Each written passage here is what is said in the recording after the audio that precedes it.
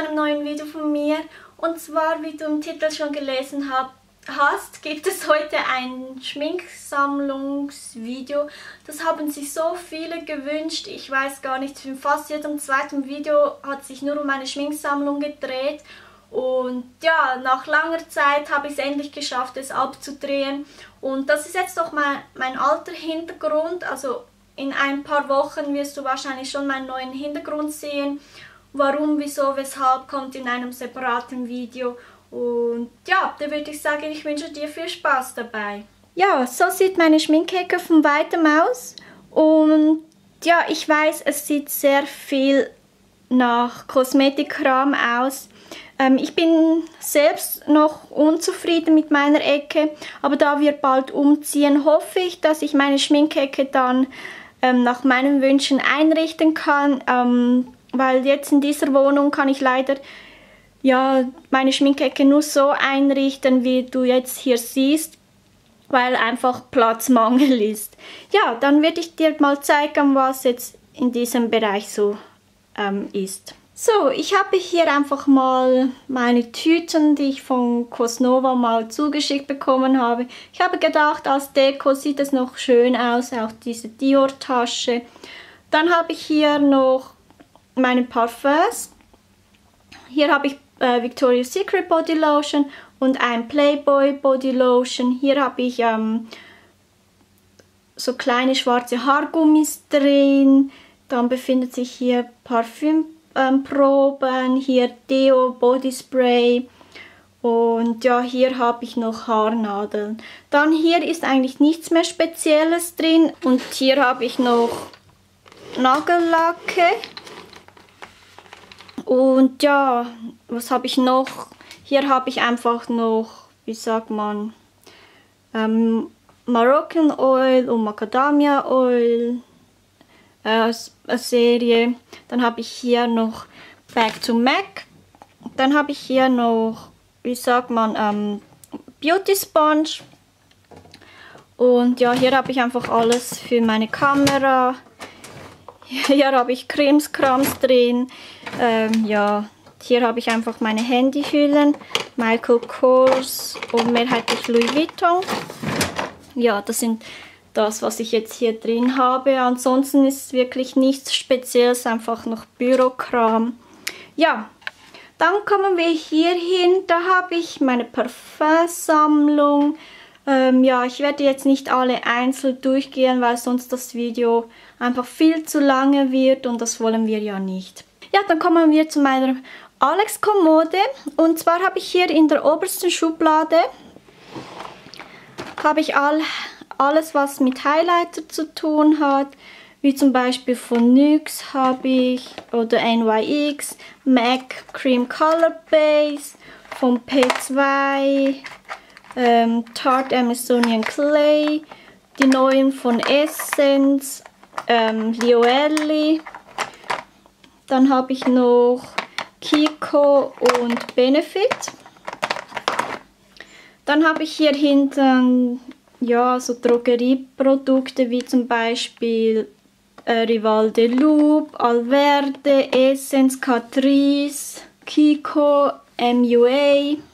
Dann habe ich hier noch The Balm, Milani, Smashbox, P2, Benefit, Alverde, Essence, Dior, Chanel, Kiko, Benefit, MAC.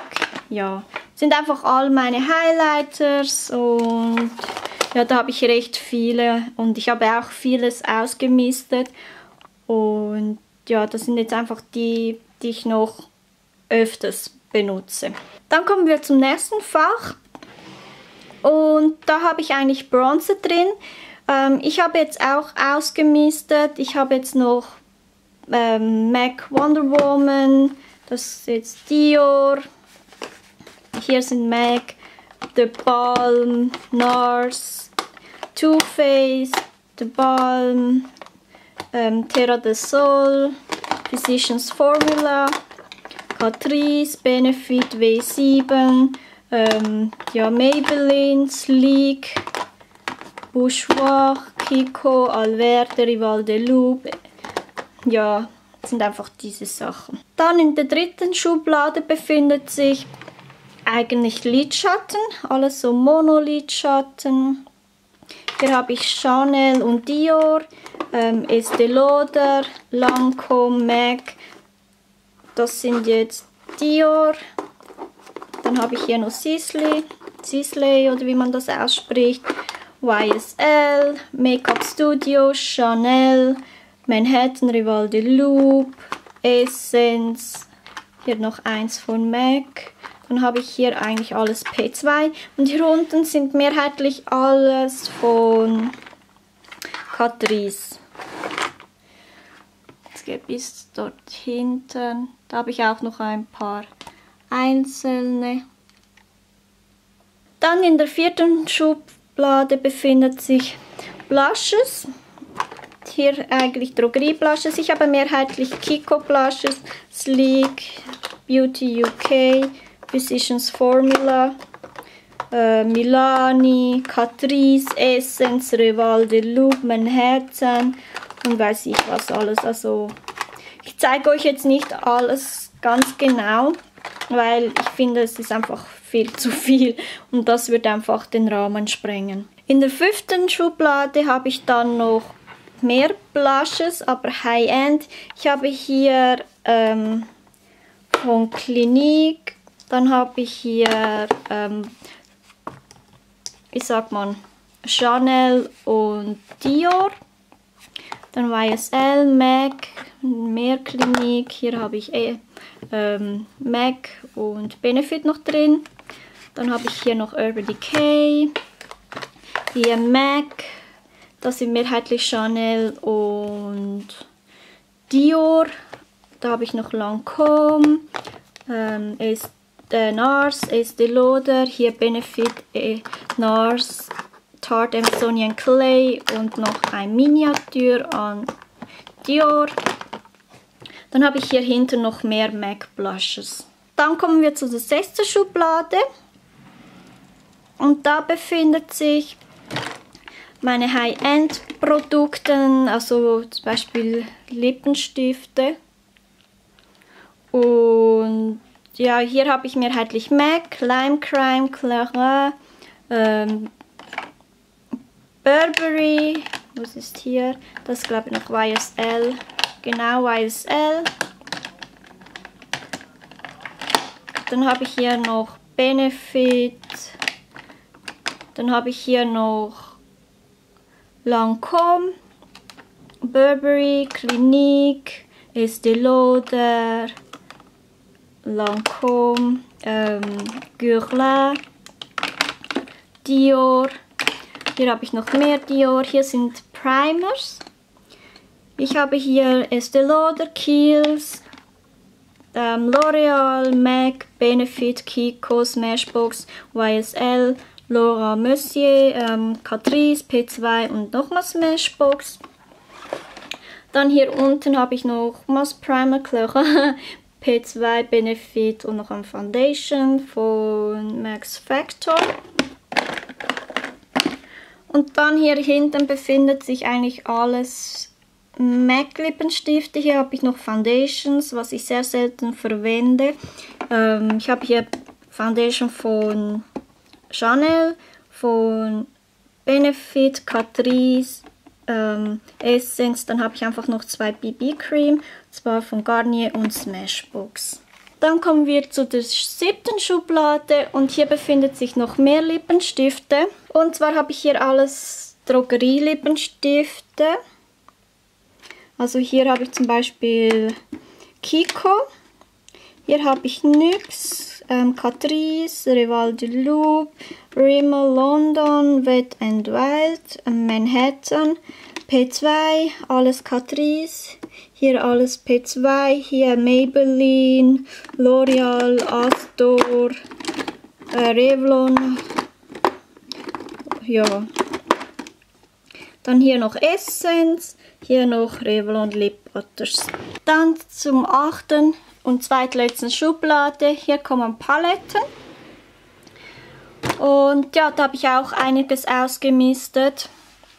Hier habe ich Sleek, Kiko, Kiko, Alverde, Kiko, Essence, MAC, MAC. Hier hinten habe ich noch, hier hinten habe ich noch ähm, Reval de Loop. Dann hier ist Catrice, hier noch Essence, MUA, äh, Maybelline, Manhattan und NYX. Hier sind Dior Paletten bis hierhin. Nein, eins ist noch Chanel, ich glaube die vorderste ist Chanel.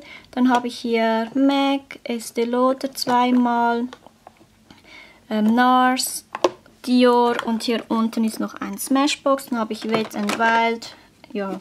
Dann zu der letzten Schublade und hier sind auch wieder Paletten drin. Und da habe ich einfach ja, ein bisschen größere Paletten, wie zum Beispiel MAC. Ähm, das ist auch wieder MAC.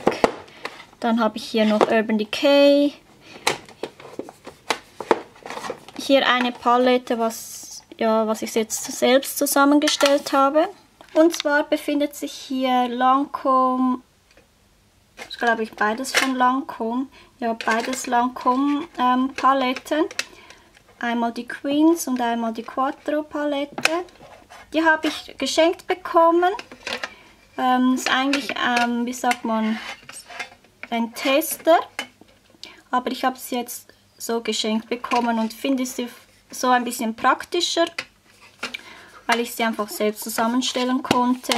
Ja, dann habe ich noch von BH Cosmetics, hier sind noch nochmals Lancome und Estee Lauder, hier YSL. Dann habe ich hier noch nochmals von Lancome, nein, Estee Lauder Palette, habe ich von meinem Mann geschenkt bekommen.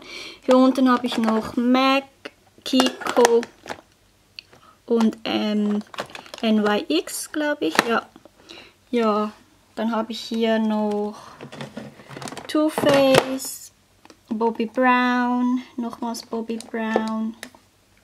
Ja, dann habe ich hier einfach mehrheitlich Too Faced und Essence, noch Urban Decay, Catrice.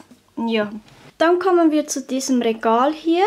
Da gehe ich jetzt nicht näher darauf ein, weil es einfach zu viele Pinsel sind. Ja, das sind alles Pinsel von oben bis unten, alles nur Pinsel. Hier habe ich auch noch Pinsel. Ja, dann kommen wir eigentlich zu meinem Schreib-Schminktisch in Anführungs- und Schlusszeichen. Ähm, hier habe ich eine Seife von Prada. Die habe ich geschenkt bekommen. Dann habe ich hier drei YSL Lippenstifte. Da ist ein Shimmer Body Lotion von Chanel Chance, ähm, Chanel Lip Butter, Chanel Soleil de Teint de Chanel Bronzer, Chanel Lippenstiften hier. Dann habe ich hier noch Victoria's Secret Body Mist, also Body Spray auf gut Deutsch. Dann hier die Boxen sind vom Benefit Bourgeois Bronzer. Dann habe ich hier EOS Lip Balms. Dann habe ich hier drin Primer in Döschen, äh, Primer in Stiftform. Und dann habe ich hier noch Augenbrauenzeugs. Dann habe ich hier, hier hinten habe ich noch einen Chanel Concealer. Dann habe ich hier auch alles wieder Augenbrauensachen. Hier Concealer, ich habe auch wieder groß ausgemistet, also sind immer noch viele. Aber ich habe die behalten, die ich gerne mochte und noch ein Tutorial dazu drehen wollte. Dann habe ich hier nochmal Body Spray, Schuhe Mura ähm, Eyelash Curler, Wimpernzange. Dann habe ich hier noch das Leak, also von Urban Decay Oil Control Make-up Setting Spray. Dann habe ich hier ein Fach, was ich täglich benutze. Ich habe, also täglich, ja, fast täglich. Ja, da habe ich einfach mal die alltäglichen Produkte. MAC Concealer, ähm, Paint Pot in Soft Ochre, mein Highlighter, Ton, dann Concealer Setting Powder, dann Catrice Puder, Elf Contour und Blush ähm, Duo, ja, mein Lip Liner und weiß was ich alles. Hier habe ich noch mehr Paletten. Hier habe ich von Urban Decay ähm, Lorac Protocol Lavish Palette, äh, äh, Lorac Pro 1 und 2. Dann habe ich hier einfach noch Mascara, äh, Lippenstifte, die ich täglich verwende, mein Concealer, die ich täglich verwende. Und hier noch ein Blush Stick, was ich sehr gerne und auch fast täglich verwende. Mein Augenbrauenpuder, die jetzt hoffentlich mal bald alle geht. ja, dann habe ich hier noch mehr Paletten hinter diesem Strauch versteckt. Ähm, da habe ich noch von Sigma, weiß nicht mehr, irgendetwas mit Paris Palette. Dann habe ich hier noch Smoke Palette von Urban Decay. Dann habe ich ähm, Urban Decay 1, 2 und 3. Dann habe ich hier noch Lorac Unzipped Palette. Und hier unten noch The Ball Nude Tude Palette. Dann habe ich noch Too Faced Chocolate, äh, Chocolate Bar Palette. Dann kommen wir wieder runter. Da habe ich zweimal Too Faced ähm, Heart, Pal äh, Heart äh, Blush. Ähm, ich finde, die sehen wohl einfach süß aus in Herzform und dann einfach das Produkt. So sehen die aus. Ich finde es einfach total süß und ja, ich möchte eigentlich noch die dritte Farbe, aber irgendwie ist die immer ausverkauft, wenn ich sie haben will. Deshalb habe ich jetzt momentan nur zwei und mit diesen beiden bin ich auch total zufrieden. Ja, dann habe ich hier noch ähm, 12 YSL Lippenstifte, also Voluped Shine und wo normale Voluped. Dann habe ich hier noch mehr YSL Lippenstifte, Sheer Candy hier hinten.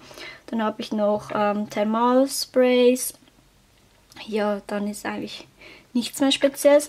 Dann habe ich hier in diesem Fach noch Puder. Da habe ich einfach noch Chanel Puder, Benay, Manhattan, Rimmel, Astor, Benefit, Clarage, äh, NARS, Smashbox. Mac und das weiß ich alles noch. Dann habe ich hier in meinem Schubfach, was eigentlich für die Tastatur gedacht war, habe ich hier noch nochmals Monolidschatten, was dort nicht mehr reingepasst haben. Und seit ich die jetzt hier so hingetan habe, verwende ich sie eigentlich ein bisschen öfters. Dann habe ich hier noch mehr Paletten. Hier unten habe ich noch ein Fach, dazu will ich noch ein Video drehen über L'Oreal Produkte, also ein Market Tutorial. Und ja, dann dort unten habe ich falsche Wimpern. Hier habe ich ähm, meinen Spitz, ähm, Spitze drin und hier unten ähm, alles, was so an Proben, also Mascara-Proben besser gesagt. Dann habe ich hier Lip Balms, ähm, dann noch ein Matte Finish Spray von NYX, also NYX, Kiko Brush Cleanser. Dann habe ich hier noch ähm, Lip Liner, Highlighter-Stifte. Hier habe ich noch Haarspangen drin, dort hinten auch. Dann habe ich hier Drogerie-Mascara, dann so Jumbo-Sticks, also von Kiko mehrheitlich und noch ein paar von MAC. Dann farbige Kajals. Hier, hier oben befindet sich ähm, nochmals Lip Balms, dann so Wimpernprimer und hier noch schwarze Kajals, NARS Primer und eigentlich High-End, ähm, wie sagt man, High-End Mascaras. Dann habe ich hier noch Kosmetikbücher von, wie sagt man, Boris Entrup, zweimal und von Essence. Dann habe ich hier eigentlich noch nur noch MAC Paint Pots und Pigmenten. Hier noch mehr so Cremelidschatten, wie zum Beispiel ähm, Essence, Maybelline, Kiko, Bobbi Brown, P2, dann Estee Lauder habe ich noch. Dann zu guter Letzt habe ich hier noch ein Fach mit so Krimskrams, also Cremelidschatten, ähm, Kiko, Essence, Manhattan, Catrice, P2. Hier hinten sind noch Flüssig-Eyeliner und ja. Dann hier noch zu guter Letzt noch ein Pinselset von Cosnova. Die gibt es aber so nicht zum Kaufen. Ja, das war's jetzt eigentlich von diesem Video. Hier oben habe ich eigentlich nur noch Deko-Sachen, wie Haarbürsten, Haarsprays und unten herum ist eigentlich alles nicht so wichtig oder interessant.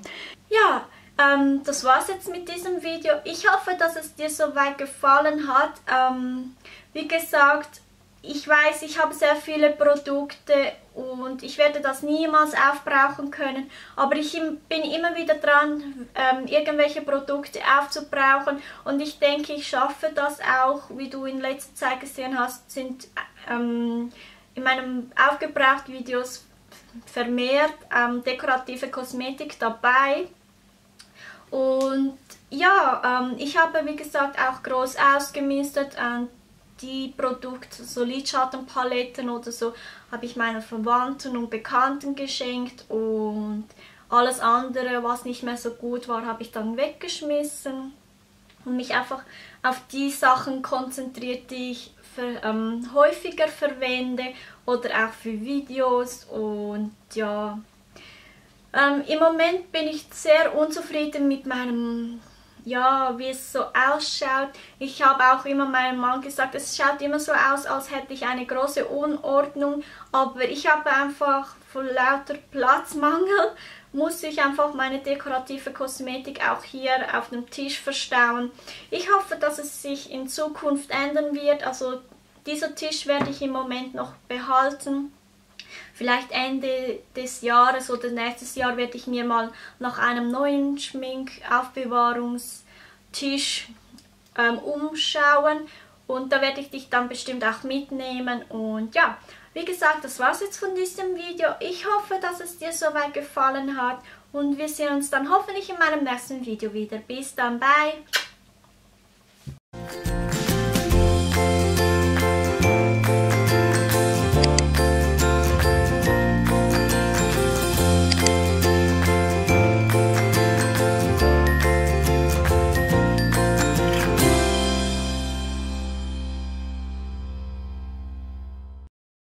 Kopfschmerzen.